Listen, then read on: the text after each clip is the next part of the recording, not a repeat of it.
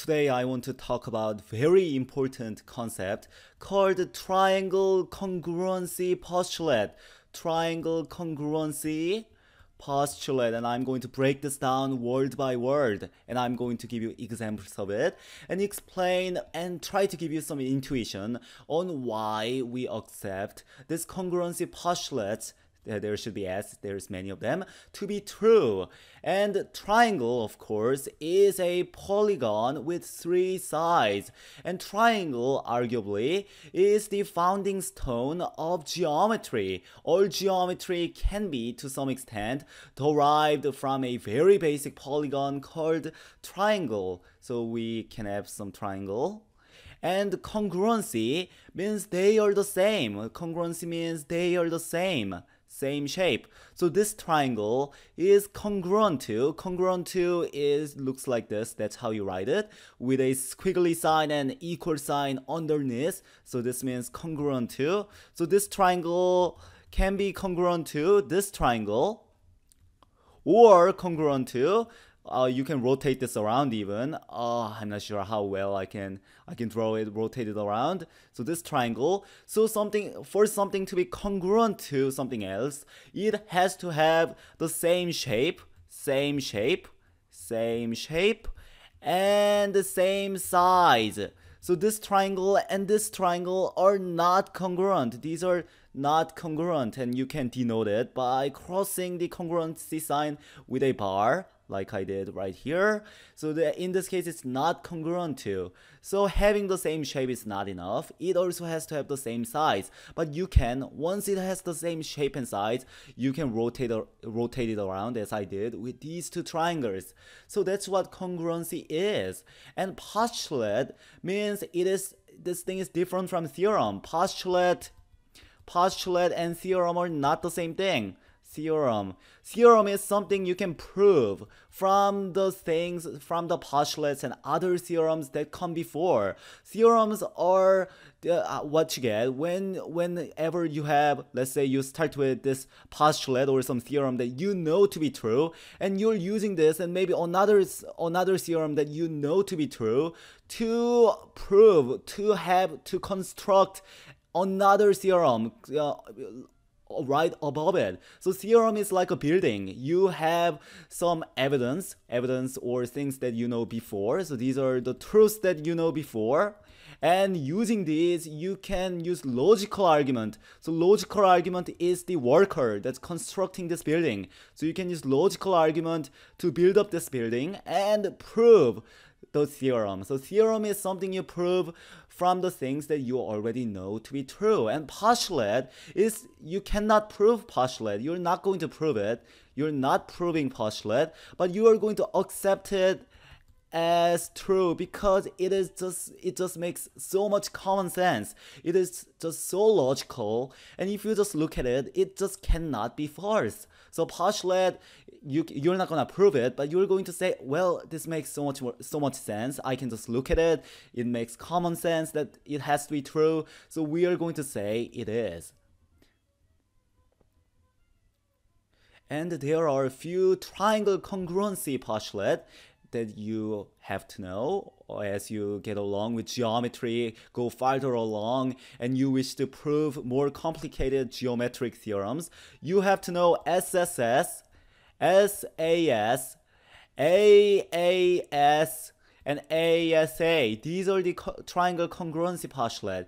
You can argue that AAS can be proven from ASA, and you're right. But for the sake for the sake of simplicity in this video, I'm going to treat these four as separate and I am going to mention the connection between AAS and ASA. So what do I mean by this? Well, S means side and A means angle.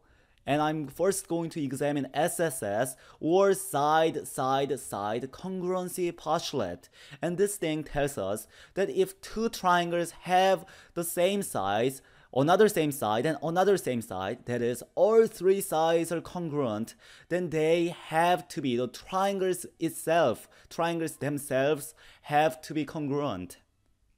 So, SSS triangle congruency postulate is telling us that there is only one possible triangle that can be generated using these three sides. So we cannot make two different triangles, two non-congruent triangles using these three sides and I'm going to try to rotate this around, translate it, move it back and forth, and we're going to see how many triangles we seem to be able to make using these sides without stretching or squishing them.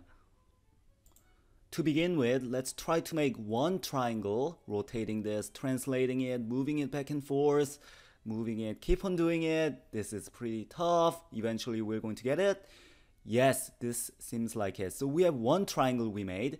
Now let's see if we can make another triangle that looks different from this, that's not congruent to this, that we can make using these three sides. So I'm going to try to be creative to, to switch the order of the vertices, but it turns out this triangle looks exactly the same. It has the same shape and size.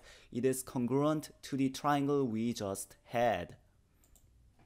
That is SSS postulate. Three congruent sides means congruent triangles. SAS postulate is telling you if there's one side that's congruent, there's another side that's congruent, and the angle in between them. See how A is in between two S's. So if the angle between the sides are congruent, then the triangles themselves are congruent. So that's SAS. And ASA, A a let's start with ASA before we get to AAS.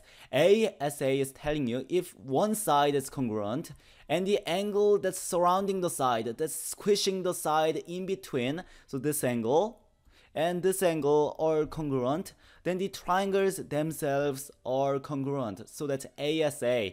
AAS is telling you if two angles are congruent, so let's say this one and this one, eh, so this one and this one, so these two are the same, these two are the same.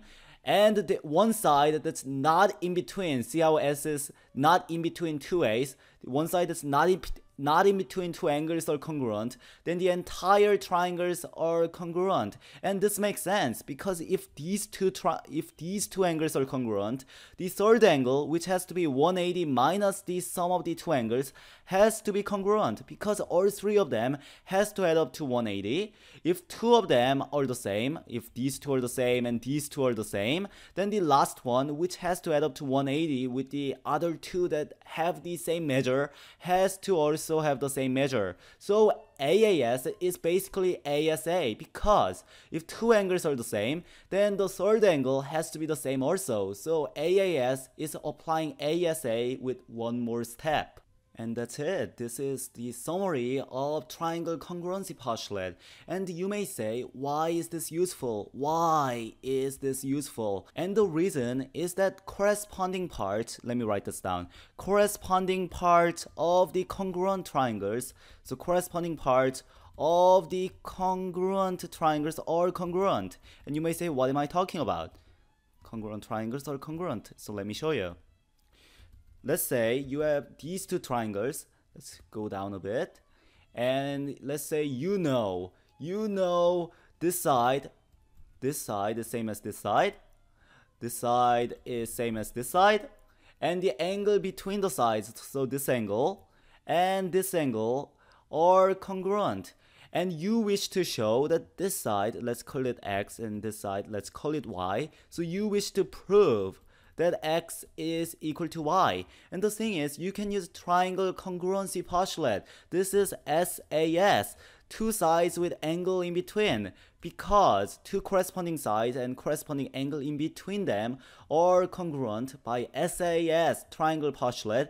You know the triangles have to be congruent and that's telling you the corresponding part, this x and y has to also be the same. So this is one very quick very simple example of how you can use triangle congruency postulate to prove something about the triangles. And it turns out triangle congruency postulates can be used to prove a myriad of different theorems in Euclidean geometry about polygons, triangles, circles, and many, many, many other things. So triangle congruency postulates are must know. And you may ask, as many many people and you should ask how come AAA and SSA do not satisfy the congruence congruency postulate? And it turns out they do not meet the requirements. They just because you have AAA and SSA does not mean you have congruent triangles. So let me show you an example of that. For AAA think about this triangle and this triangle. They have the same angles this angle this angle this angle and these two angles, but they are not congruent. They have different sides. Let me make them more conspicuous. So it can be a triangle that looks like this, like this and with the same angles but obviously these two triangles are not the same because they have different sizes so AAA is not going to work out for SSA the reason is more subtle it's harder to see and let me try to draw it out so you can have a triangle that looks like this. So these two no no no. Let's say this one this side this side and you want to look at this angle.